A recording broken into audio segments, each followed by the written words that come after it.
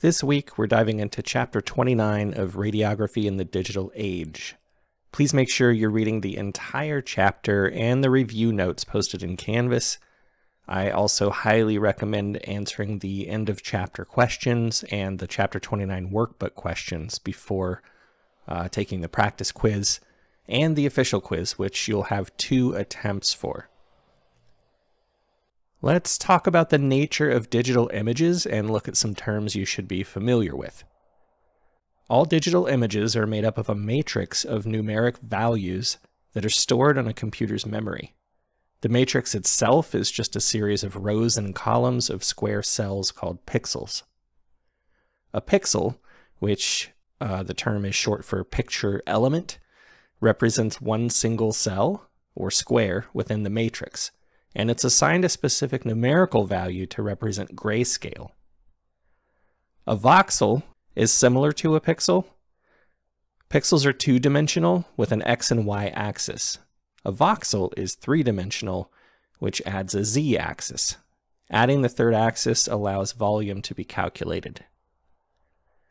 Field of view will be covered later in detail, but for now just know it's the physical area in which the image is displayed. Bit depth refers to the number of shades of gray available in a radiographic image. It can be expressed as 2 to the k power. For example, an 8-bit system would allow you to see 2 to the 8th power number of shades of gray, or 256 shades of gray. We'll break down all of these terms more today. What is a pixel? A pixel is the smallest visual element on a video display screen. To the right, we have a matrix size of 16, or 4 pixels by 4 pixels. The pixel, or picture element, is the basic unit of programmable color on a computer display. Each individual pixel is assigned a numerical value indicating its brightness level, and we need varying levels of brightness to be able to distinguish structures as separate on the radiograph. So why is pixel size so important? Smaller pixels means you'll have better image resolution. The size of the matrix is expressed in number of pixels, not the actual area in terms of length and width. It's the number of pixels. Given the same field of view as in these two images on the right, Having a larger matrix size means you'll have smaller pixels and better resolution.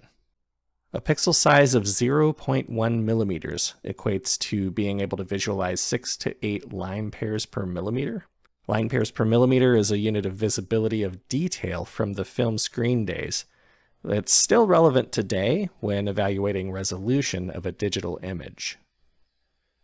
There is a myth that digital images have better spatial resolution when compared to film. That's actually false. Film screen still has better resolution, meaning you can see more line pairs per millimeter on film compared to any digital system. However, digital images have better contrast resolution than film, which more than makes up the difference. This allows imaging to be able to visualize differences in tissue densities that were not possible with film screen imaging previously. Pixel size definitely matters. Smaller pixels mean there are more of them within the field of view, which also means the image captures more data because there are more pixels.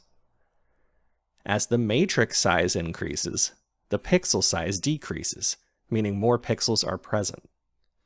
A decrease in pixel size equals an increase in spatial resolution. Again, we'll talk more about field of view later, but note the images on the right. Both having the same field of view, there's differences in matrix and pixel sizes though. The one on the bottom has a larger matrix size, smaller pixel size, so it has higher resolution. Please also note there's an inversely proportional relationship between pixel size and resolution. A decrease in pixel size equals an increase in resolution, just like the image on the bottom. Matrix size and pixel count are directly proportional, meaning if you increase your matrix size, the the number of pixels increases, also on the image on the bottom. Here we're comparing some different matrix sizes visually. The bullet points represent different pixel counts within different matrices. Note that a 64 by 64 matrix is usually used in nuclear medicine.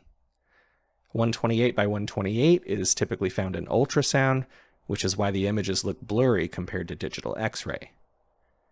512 by 512 is in older CT and MRI systems, while 1024 by 1024 can be found in newer systems. And then you have 2048 by 2048, which is found in DR and digital fluoroscopic units with flat panel detectors. The important thing to note is the larger the matrix, the smaller the pixels, and the higher the resolution of the digital image.